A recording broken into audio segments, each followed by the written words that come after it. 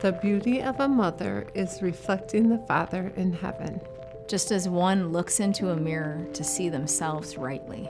A mother mirrors the father to her children, and he shines through brightly.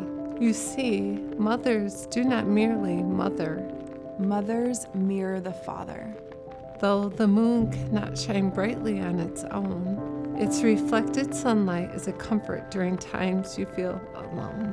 When we walk through the valley of darkness, it is a mother who reminds us not to fear, for the Father is with us. So, to all the mothers on this special day, To the ones that have children and the ones that had children, To the adoptive mothers and the spiritual mothers. The mothers to be and the moms that are not yet. Happy Mother's Day, and thank you for showing us our